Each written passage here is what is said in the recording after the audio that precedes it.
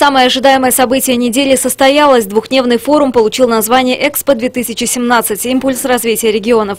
Поэтому не случайно речь шла об использовании новых технологий, которые могут быть применимы в нашей области. В приоритете те, что позволяют снизить себестоимость продукции, повысить производительность труда и улучшить экологическую обстановку. В регионе работа над внедрением таких проектов уже началась. Для любой страны, так как и для Казахстана, экологические проблемы имеют большое значение, особенно в отношении использования нетрадиционных источников энергии. И в работе э, Экспо э, приняли участие около 50 руководителей наших э, предприятий. Выбрали 20 проектов технологические, которые отвечают всем современным требованиям, мировым стандартам на сумму 128 миллионов долларов.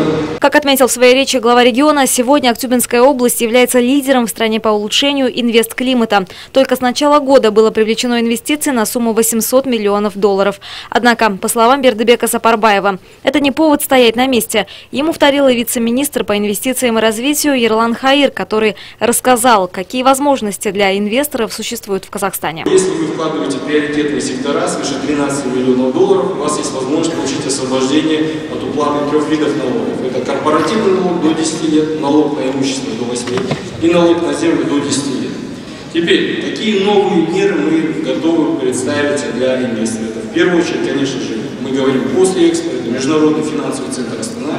Все очень хорошо знают, что там будет э, действовать английское право, что английский язык будет являться рабочим языком. Э, особые условия там, по налогообложению, особые условия по э, визам. О перспективах сотрудничества Кустанайской и Актюбинской областей рассказал Аким Кустанайской области Архимед Мухамбетов. Так, Кустана интересует медицинские кадры, которые готовят Западно-Казахстанский госмедицинский университет имени Марата Успанова. Для этого в соседнем регионе молодым специалистам обещают создать все условия для работы. Также Мухамбетов предложил Акиму Сапарбаеву сотрудничество в области строительства электрических заправочных станций. В свою очередь, о еще более тесном налаживании связей с нашим регионом вы высказался губернатор приграничной Оренбургской области, который в шутку назвал себя ветераном инвестиционного форума в Актубе. Перспективными направлениями являются углубление промышленной кооперации, формирование программы оздоровления экосистемы, бассейна трансграничной реки Урал, строительство международного транспортного коридора Западная Европа, Западный Китай с формированием сопутствующей инженерной околодорожной инфраструктуры.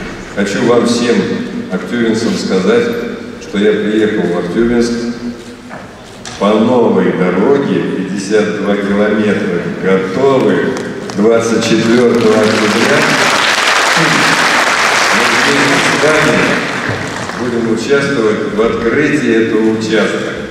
Пятый международный инвестфорум, координатором которого в этом году выступил глава Национальной палаты предпринимателей Атамикен Марат Абенов, собрал гостей из 20 стран мира. В их числе представители Италии. Посол этой страны, выступая на форуме, отметил, что Италия готова сотрудничать с регионом как в сфере бизнеса, так и в сферах культуры и образования. Ну а итогом самого ожидаемого события этой недели стало подписание 11 меморандумов на общую сумму около 200 миллиардов тенге. Используется встречи с полиграфическими